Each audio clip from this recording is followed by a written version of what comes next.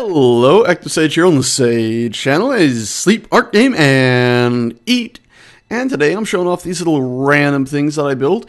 And they're actually inspired by the Sea Snake, a ship that I actually built ages ago using landing gears where it had section connected to section. And when I moved the cockpit, the whole thing wibbled and wobbled and was pretty strange and funny. So I decided, hey, why don't I build the same thing, but let's use gyros. So here we go. This is a basic one where what you see is what you get. I just basically have the cockpit there, engines to go in every direction. We got our forward and our backwards, and two reactors in the middle, and a bunch of gyroscopes stuck to the bottom. By the way, that'll be the same for each one of these cockpit sections. And then on these, I just have the rotors going as such to connect all these pieces together. That way, when I move, it'll get a swimming thing, and there's nothing special set up about any of those. I just put them in. So if I was to hop in here, go in the third person, that way we can see, and we'll just turn.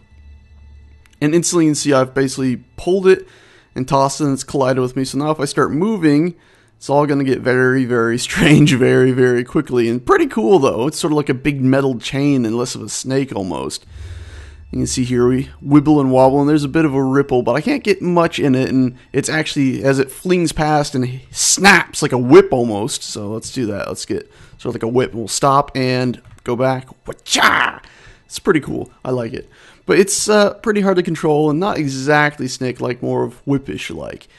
So that's not exactly the best thing ever, even though wah, it's pretty cool and very interesting to watch. But if we come over to this one here, that's already curled up, which I actually like pretty much. It curled up pretty much perfectly to the start point. Now, I didn't even intend that, it just happened. But if we were to hop in here now, and I'll try reversing out of it, these rotors, I went through and actually set each of them to only have a 45 degree, basically 90 degrees of freedom facing outwards. Here's a little graphic I can toss up. So there you go. That shows exactly how they're set up. And they're set up inside, if I was to actually go to them, and here is like this. So they're basically set up like that. That way I get 90 degrees. Anyway, so this one, if I do this, you get more of the actual sort of snake sort of thing. Ooh, unless it just flings out and spazzes out. But yeah, there you go. You can sort of get these like snakish ripples. Probably best if I do this while moving forward. It's it's pretty weird actually, and a bit glitchy and wonky, and it still tosses me about. It's it's interesting. I'd like to connect two larger ships and maybe just try to like tugboat with maybe like oh I can't exactly figure out how I do it. Oh okay I could maybe four of these chains, you get four people in small ships trying to tugboat some larger structure. I think that would be a lot of interestingness. But you can see there is, if I try to fly forward and get a bit of a snake sort of ripple into it, it ends up still doing that whip thing at the end. And so you end up with some trouble there when it snaps and pulls you back.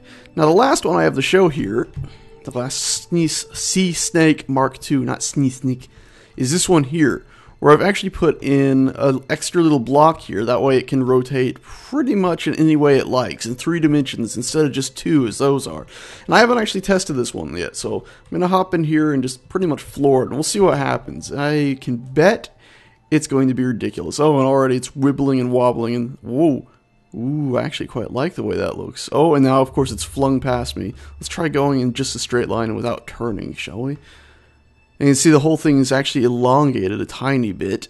Okay, okay. We're good, we're good. No harm done, no harm done. you can see it's flinging all about on itself. It's a lot of fun, it's pretty cool. Um, yeah. Wow, that's this one actually seems to handle the best. I guess because it's no locking points, and then of course it's in three dimensions, so it's not being torqued up and around and then snagging and pulling the whole ship about. So it's actually better, the handling on this one than the others. Even though it's still a bit wonky and ridiculous, it's uh, better. Huh. Anyway, I just wanted to show these random little things. I thought they were pretty cool and fun.